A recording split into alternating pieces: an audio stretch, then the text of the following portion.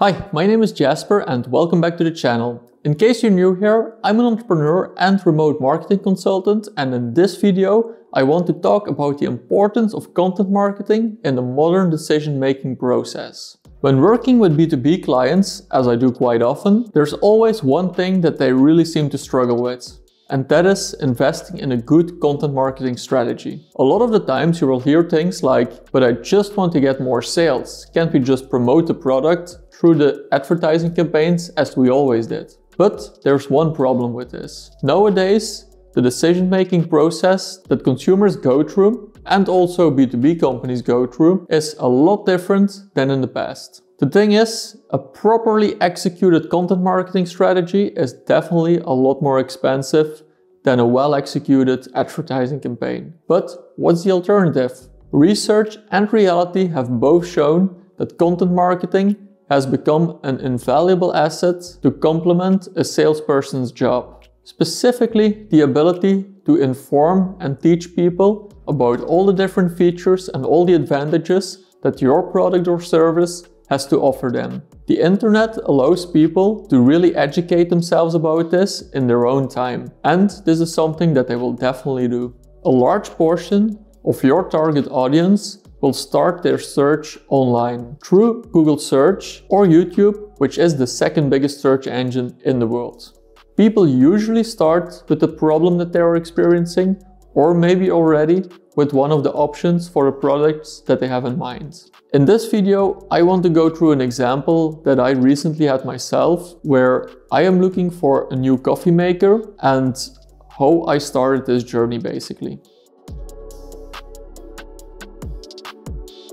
So, every now and then I really enjoy working from a coffee shop. And of course, they make the nicest flat whites that my Nespresso machine at home can obviously not compete with. So, after having some of these and then working at home again, I really started to miss this really nice espresso or these really nice milk-based products like a flat white for example. This experience triggered me to start an online search about my options. Now, First of all, and this is something that consumers will go through a lot of the time, I will look at family and friends to see what they are using and what they are recommending. So friends of mine, for example, have a Rocket Appartamento, which is a coffee maker, one of the piston machines, so a manual espresso maker, and it makes the nicest espresso. Like for the taste and for the quality to make something at home, I don't really think that there's anything that compares to it. But on the other hand, it also takes some experience and some skill to really pull a nice shot of espresso out of these machines. On the other side, when I visit my parents, they have a Jura, which is an automatic espresso maker, which also makes a nice espresso if you have the right beans in it. And so starts my journey for finding a nice coffee maker for my place. One of the first things that I start searching for online is manual versus automatic espresso makers to really see like what, what the differences are and find out which one is more the thing that I'm looking for. I find, for example, that a Jura is still one of the better machines to have an automatic espresso maker and also that these manual machines, for example, are a really nice addition to the look of your kitchen as well because most of them look really nice. It's like you have a coffee place yourself. But as I already told earlier in this video, I also learned that it's a lot harder to pull a nice shot of espresso from these manual machines.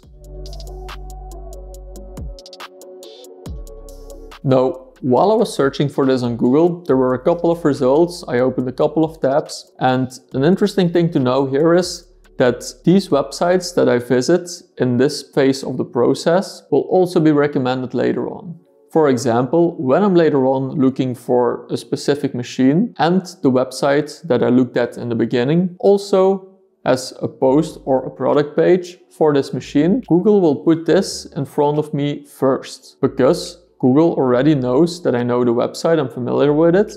So they make an educated guess that I will be more likely to click that page and to actually like what I see.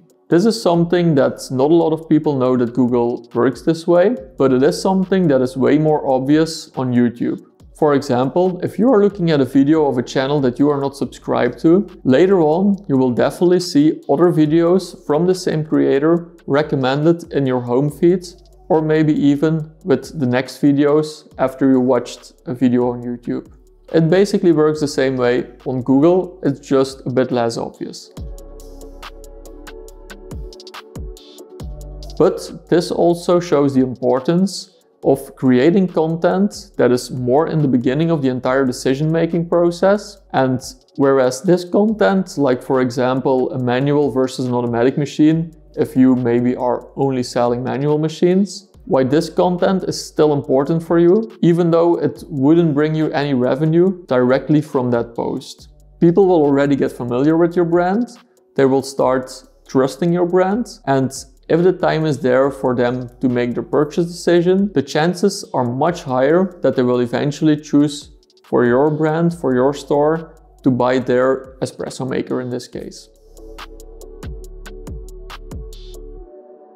So next in my search, I go to YouTube. I look for a couple of different options, like for example, all the different models that Jura makes and really see what the features are and also judge by the person presenting and tasting the coffee, how well he likes the machines as well. This also gives me more of a feel of what it is like to use the machine and to make a better, more educated decision about which machine is really worth it to me. I think that YouTube is the perfect channel for this because you have the extra dimension of the visual and this is something that really can help people in their decision making process. In this case, I'm talking about coffee makers, but the last time I was buying a new car, I also found myself going to YouTube to search for reviews of the specific cars that I was looking at to get a better feel of all the different features that they provided and also what driving experiences the reviewers described for each car. And this was something that definitely had a significant influence in my decision to decide which cars in the end I wanted to test drive myself first, of course, um, but also which car that I eventually ended up buying. It is really valuable to create really good content around everything that has to do with the products and services that you offer and more importantly, make sure that it is honest content. Try not to only talk for your shop, but try to give honest advice in general. People will much rather buy something from you if you say that, for example, a certain coffee maker makes like the most disgusting coffee, but the other one is pretty nice, than if you would say like all the coffee makers that I sell make the perfect cappuccino. Like people know that this is not the case, so if you are honest, you will also be able to build a lot more trust with people and with your future customers.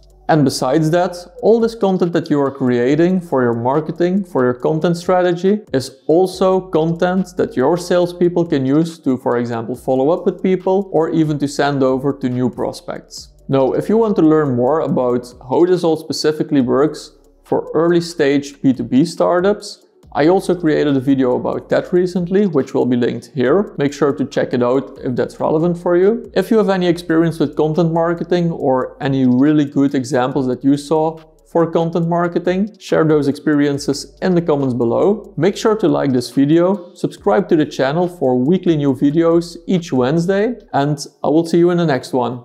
Bye!